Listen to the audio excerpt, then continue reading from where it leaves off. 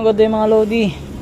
Mayroon na naman tayo lalagyan. Click 125. Honda Click 125. So yan mapapansin nyo mga Lods. Wala nang sticker yung Honda Click.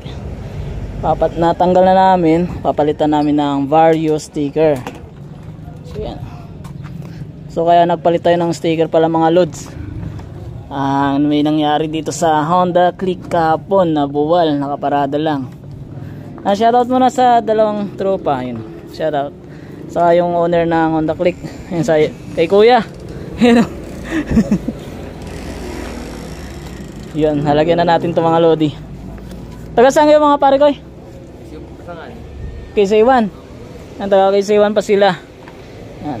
dinayo tayo dito sa bayan ng San Antonio. So ito mga lodi sinabon ko na to dahil bawal magdikit ng sticker bawal mag-install ng sticker kapag mayroong BS1 na nakalagay tulad nito. May BS1 yan. So ang ginawa ko dito nagsabon. Pinahiran ko ng sabon. Para mawala yung pinaka BS1 na pinahid or magic gatas. Basta tandaan nyo, tandaan nyo mga lodi bago kayo mag-install ng sticker kailangan walang BS1 yung pinaka fairings nya para makapit yung sticker na bibili nyo sa akin So yun, ito yung gasgas nyo. Yan, makikita nyo mga loads, may gasgas, may damage na oh. Yan oh, gasgas oh. Kaya mga load oh, gasgas. Ay, may lagkit pa pre oh. Saka nabasag yung ano, yung pinaka fairings nya. Yun, nakikita nyo mga lodi, basag. Basag yan. Tumambay lang yan. tumambay dito sa harap ng shop. Ayun may katabing badya nabuwal yung badya dito sa Honda Click. Kaya nabasag to. Yan shoutout kay ano shoutout dun sa mga tropa kapo na tumambay dito. Yan papalitan na natin ng Vario si Vario 125 yun oh. alright. Yan shoutout kay Iya yung may picture pa yung Honda Click 125 yun oh. napaka loyal yung driver ng Honda Click na to Alright, sige, umpisa na natin mga lodi pagdikit. Dito, dito muna tayo mag-umpisa sa harapan. Alright. Okay, lapit dito. Sige mga lodi, start na tayo. Dikit na natin to. Wala na tayong gagamitin na shampoo dito.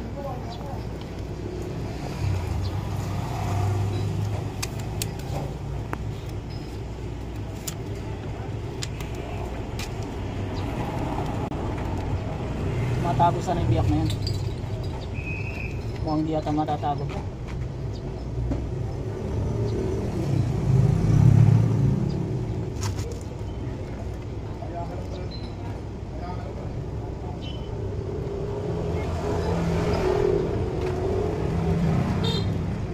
Yan medyo nilaglag ko dito pre na. Nakita mo laglag na. Dapat dito lang yun.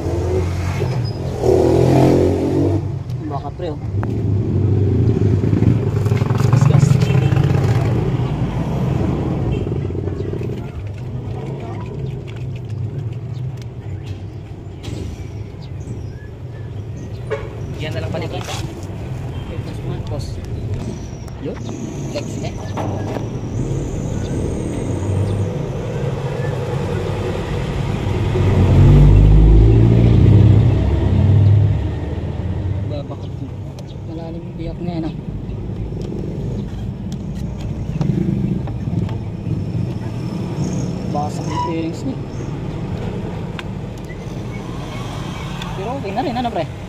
Ay sa kahapon ano? Konti na lang naman. Konti-konti na lang. Yung mga lodi yung bakat yung basag ng Kaya fairings. Pero hindi na masyadong halata. Maganda ng tingnan. Ay dapat pala oh. Ganyan oh. Pag diniin oh. Kaya dapat nakadikit yan eh. May tiban.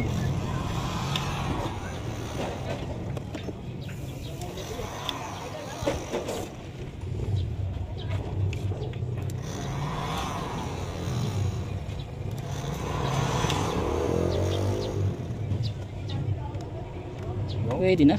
Angas. Pwede na. Tabas lang tayo dito. Kasi nilaglag ko eh. May kunting tatabasin lang. Kasi inabol yung ano yung bitak. Yung pinakabiyak ng, ng bearings. Hmm. Ano, Lodi? Bali 125. Siya mga Lodi, naidikit ko na yung sa gawing side dito sa harapan. Dito naman tayo sa likod. Tara, let's go. Dito na tayo sa likod. Yung mga ano. Rolling na po. yung mga laglag pa pala oh. Kadagtak yung pawis natin dito.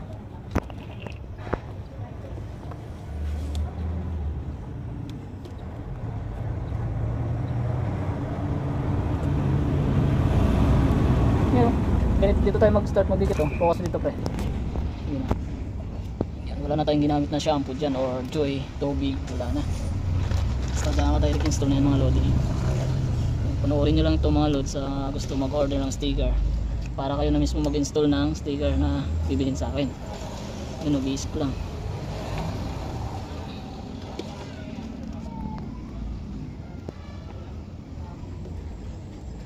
Lang, unti-unti lang talaga yung pagdidikit para hindi malukot.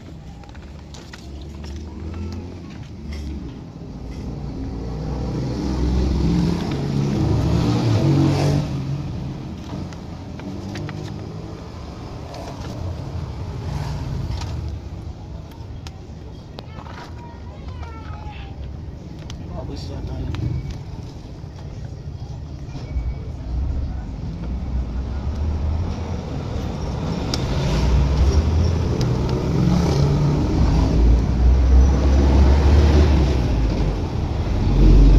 Play dito tayo. Lapit mo dito tayo. Bakit ah?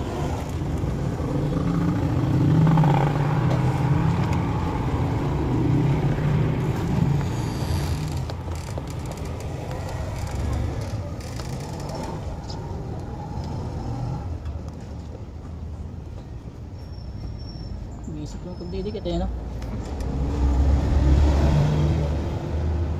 Pero pag di ka sanay nito, sa babasahin mo kaya na lang.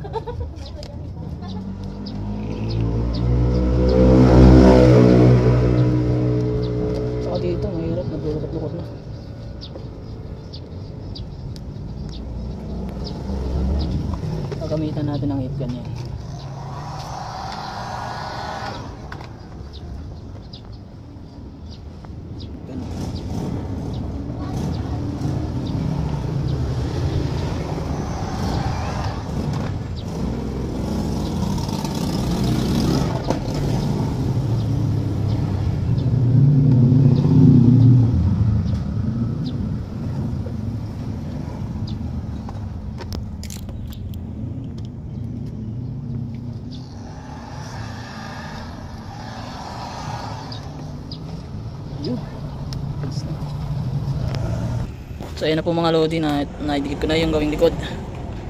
Okay na yung pagdidikit. Nakita nyo naman sa video. Napaka basic lang mag-install. Hindi ko na binasa. Naka-direct install na agad. Yun o. Sa gusto mag-order pala nito mga lodi, PM nyo ako sa page ko, Magsipok Vlog. Mura lang to isang set na ito.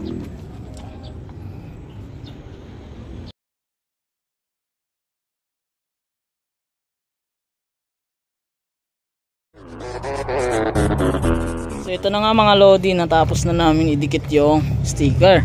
Vario 125. Yun oh. Napakaganda at napakaangas tignan. Vario 125 decal. Honda Click 125 Vario. Yun. Alright. Hanggang dito na lang video na Lodi. Maraming salamat. Share sa kanila. Kaway kayo dyan, kaway. Okay ba?